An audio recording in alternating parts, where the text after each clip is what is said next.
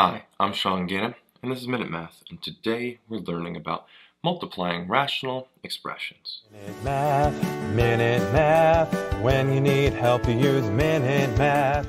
We're given this problem right here, 1 divided by v plus 10 times 10v plus 30 divided by v plus 3, and we want to simplify this expression.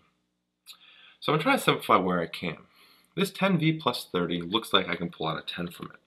So if I pull out a 10, I'm left with, well, v plus 3. Okay? So I'm going to kind of cross that out and replace it with the 10 times v plus 3. Now we can see some things that eliminate. The v plus 3 here and this v plus 3 cancel each other out. So what are we left with? Well, nothing else that really cancels. So the numerator, I'm left with that 10 divided by v plus 10 in the denominator, and there we have it. 10 divided by v plus 10 is our final answer. Hope this video was helpful, and if it was, please subscribe to this YouTube channel and like this video. This helps us make more free math lessons for you and for everyone else. So as always, thanks for watching. Minute Math, Minute Math. When you need help, you use Minute Math.